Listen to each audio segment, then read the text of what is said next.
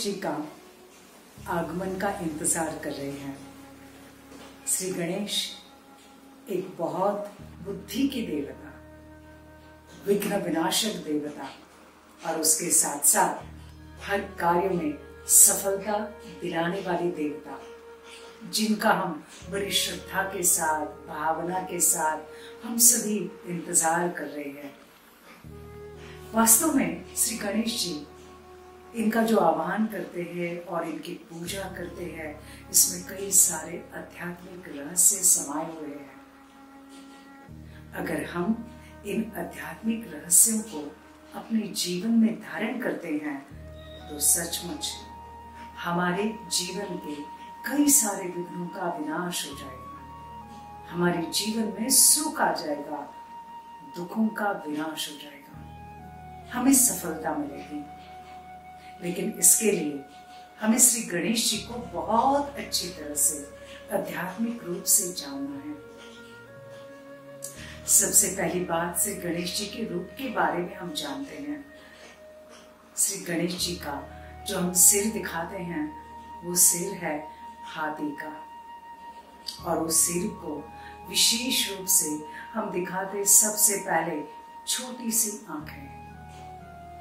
वास्तव में श्री गणेश जी काफ़ी बड़े, लेकिन आँखें एकदम छोटी सी, बहुत बारीक हम कह सकते हैं, ये प्रतीक है परखने की शक्ति। हम अपने जीवन में जो भी लक्ष्य रखते हैं, जो भी विजन रखते हैं, उस विजन के ऊपर कंप्लीट फोकस रहे। हम जो भी चीज़ को, जो भी व्यक्ति को देखते हैं, जो भी व्यक्ति रिलेशनशिप हमारे जीवन में है, या फिर हम उन्हें उस रिलेशनशिप को आगे बढ़ाना चाहते हैं तो हम पहले उनको अच्छी तरह से परखे। परखना means what is right what is wrong गलत क्या, सही क्या। अगर ये परखने की शक्ति हम धारण करेंगे ना तो हम धोखे से बच जाएँगे और इस परखने की शक्ति को कदम कदम पर हमें यूज़ करना है। दूसरा, गणेश जी के जो कान बताए, बहुत लंबे, सुपड़े जैसे कान हैं। इसका भी बहुत सुंदर अर्थ है। जैसे वो सुपड़ा, वो क्या करता है? फ़िल्टर करता है अनाज को। जो भी कचरा है, उस कचरे को फेंक देता है। और जो भी अच्छाई है, जो अनाज है, वो अंदर रह जाता है। हम लोगों से बहुत सारी बातें सुनते हैं। बहुत सारी सिचुएशंस हम सभी के जीवन में आती है, जो कई बार निगेटिव होती है। हमारे जीवन में कुछ घटनाएँ निगेटिव होती जाती हैं। एक बहुत अच्छी बात करे निगेटिविटी को छोड़ दे। सिर्फ़ पॉजिटिविटी को धारण करें बार बार अपने मन को एक लक्ष्य दे, मुझे इस घटना से सिर्फ़ पॉजिटिव बात को लेना है। इसमें अच्छा क्या हुआ? अच्छा क्या हुआ? बार बार अपने को ट्रेनिंग दो। किसी ने मुझे लेमन दिया, मैं उसका लेमोनेड बना के दूँ किसी ने मुझे ग्रानी दी, किसी ने मेरी निंदा की, उस निंदा में से भी मैं अपने लिए कुछ बहुत अच्छा चैलेंज स्वीकार करूँ। तीसरा, गणेश जी का हम विशेष रूप से देखते हैं सूंड, हाथी की सूंड। नहीं, काफ़ी लंबी रहती है। उसकी विशेषता है, काफ़ी फ्लेक्सिबल वो सूंड एक बड़े से बड़े वृक्ष को ज़मीन से उखाड़ कर फेंक सकती है। तो वही सूंड अपने उसी सूंड से वो शिव जी का अभिषेक कर सकती है या उनके ऊपर पुष्प भी अर्पण कर सकती है। This is called flexibility balance मुझे अपने जीवन में बैलेंस सीखना है। बैलेंस कौन सा? लव एंड लॉ रमणीकता और सीरियसनेस बैलेंस से नम्रता स्वाभिमान जब हम अपने जीवन में बैलेंस को लाते हैं, उससे हमें बहुत सारी ब्लेसिंग्स मिलती जाती हैं। उसके बाद गणेश जी को विशेष रूप से हम दिखाते हैं। उनको कहते हैं लंबोदर पीताम्बर। उनका जो पेट है, काफ़ी बड़ा है, लंबा है। वैसे बड़ा पेट हेल्दी बॉडी की निशानी नहीं है लेकिन श्री गणेश जी को बड़ी हमने युक्ति युक्त यथार्थ रूप से दिखाया है। ये हमें बताता है, सिखाता है समाने की शक्ति पावर टू एडजस्ट बहुत कुछ इस ज़िंदगी के सफ़र में चलते चलते बहुत कुछ हमें सुनने को मिलेगा। बहुत सारे ऐसे रिश्ते मिलेंगे। किसमें कुछ प्लस होगा, कुछ माइनस होगा, किसी में कुछ कमियाँ होंगी, किसी में स्ट्रेंथ्स होंगी। लेकिन मुझे क्या करना है? मुझे अगर इस ज़िंदगी में आगे बढ़ना है तो हर एक को उसके गुण, दोष के साथ स्वीकार करना है। मुझे एक्सेप्ट करना है। इनके अंदर ये कमी है ओके हम जानते हैं, इनके अंदर ये कमी है। जानते हैं। इससे हमारा मन काफ़ी शांत रहेगा। हम जो फालतू में बोलते हैं, किसी के बारे में बंद हो जाएगा। हमें उस व्यक्ति में भी अच्छाई दिखना शुरू हो जाएगी। और इससे हमारी टीम बढ़ेगी। Because I am adjustable with every type of person. So I will be liked by people, loved by people. उसके बाद गणेश जी को विशेष रूप से चार हाथ दिखाते हैं। एक हाथ में दिखाते हैं विशेष रूप से परशु। ये परशु माना जिसको हम कहते हैं बंधन काटने वाला। कई बार हम सभी ने अपने आप को अपने मन के बंधनों से बाँध दिया है। बाहर के बंधन नहीं होते हैं, अपने मन के बंधन। खुश नहीं रहना है, अपने आप को सजा देंगे। बंधन अपने आप को दुखी करेंगे। व्यर्थ विचारों का बंधन, व्यर्थ संकल्पों का बंधन, व्यर्थ बोलने का बंधन। ये जो अनेक प्रकार के बंधन है ना, इस बंधन को मेरे सिवाय और कोई काट नहीं सकता। मुझे अपने बंधनों को पहले पहचानना है। This is my bondage I क्योंकि जब तक हम अपने बंधनों को काटेंगे नहीं तो मुझे मुक्ति कैसे मिलेगी? कई बार मैंने क्रिएट किए हुए बंधन, मैंने क्रिएट किए हुए मेरे जो भी मन के विचार या एक्शन है वही तो मेरे जीवन में प्रॉब्लम क्रिएट करते हैं। तो मुझे उनको काटना है। दूसरे हाथ में है कमल पुष्प।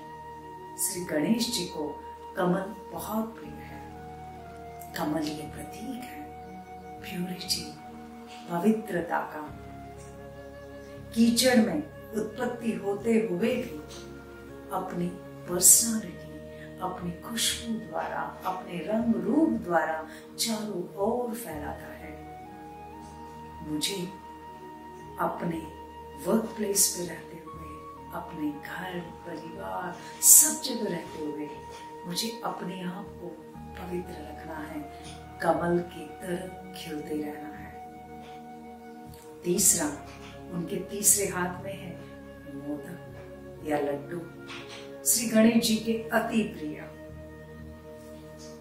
एक्चुअली इसका अर्थ है मोदक या लड्डू का टीम बिल्डिंग मैंपन को हराना मैंने किया, मेरे कारण हुआ इस मैं को डिलीट।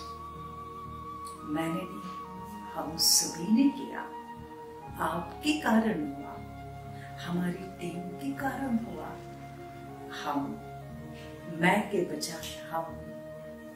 जब मैं के बजाय हमारे में हम आ जाएगा ना, अहम नहीं, हम।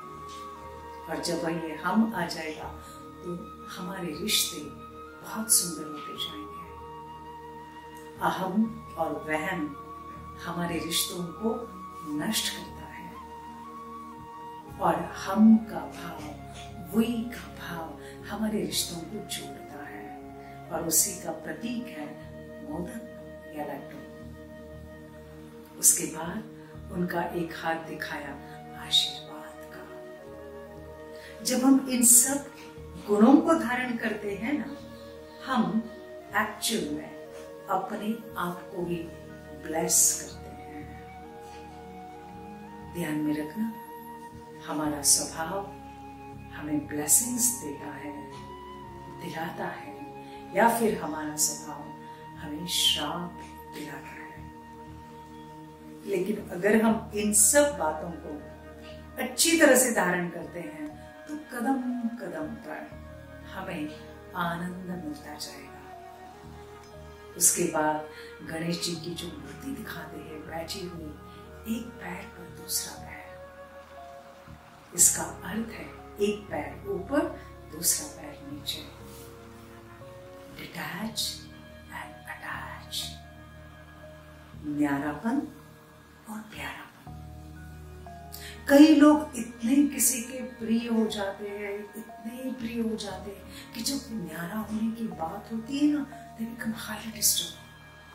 Detach नहीं होते, रोते ही रहते हैं पॉजिटिव नेचर हो जाती है, और फिर उसको लेबल लगाते हैं। मेरा आपसे बहुत प्यार है ना। No this is not love this is attachment Shri Ganesh ji हमें सिखा रहे हैं, आपका जो भी काम करना है ना हंड्रेड परसेंट अटैचमेंट के साथ करो। काम पूरा हुआ बी डिटैच और सबसे लास्ट है, इतने बड़े गणेश जी और उनकी सवारी दिखाइए चूहे चूहा कितना छोटा सा। कैन यू इमेजिन दिस इसके पीछे का बहुत सुंदर रहस्य है। इसका मतलब इतनी सारी विशेषता होते हुए भी उन्होंने अपने आप को निरअहकारी रखा है निर्विकारी रखा है, उस माया को, उस विकारों को जीता है। चूहा ये प्रतीक है विकारों का, पाँच विकार। मालूम नहीं कहाँ से गुस्सा आ जाएगा, कहाँ से जेलसी आ जाएगी, कहाँ से भय आ जाएगा। मुझे अपने अंदर आने वाले, कभी भी आने वाले, इन विकारों को जीतना है। ये मेरी ज़िंदगी का लक्ष्य हो। जब हम इन सब बातों का अर्थ अपने जीवन में धारण करते हैं तो सचमुच हम क्या बन जाते हैं? निर्विघ्न। विघ्न आते हुए भी निर्विघ्न। कोई भी विघ्न वार करने आएगा, विजय का हार पहना के चला जाएगा। दूसरा, सफलता की मूर्ति बनते जाएँगे। सिर्फ़ गणेश जी की पूजा के साथ साथ आओ। हम इनके इस आध्यात्मिक रहस्य को धारण करें और हम भी उनकी तरह मास्टर विघ्न विनाशक बने, मास्टर सुख करता दुख हरता बने। इस गणेशोत्सव के निमित्त से आप सबको बहुत सारी शुभकामनाएँ। ओम शांति